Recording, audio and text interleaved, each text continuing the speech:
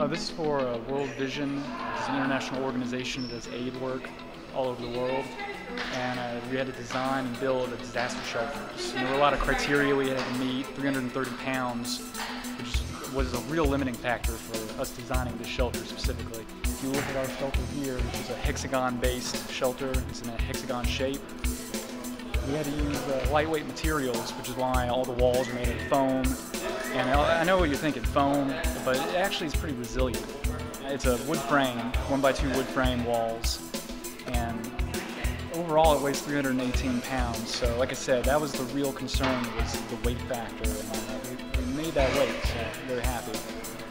So far we've done our presentation and we've done the seismic test, and right now they're trying to figure out how exactly we're going to do the snow load because part of part of the design of our structure is we put a steep roof. This would allow snow and water to shed off the roof effectively. But the problem is the bags won't stay on the roof. It's kind of it's part of the design, but it's hard to test how much weight it could actually hold. Uh, well, our professor, Dr. Gray, he uh, found out about it. He's from Arkansas, so he's uh, I guess, I don't know exactly how he found out about it, but he did, and he got us involved. He asked me if I wanted to get some people together, and I said, sure.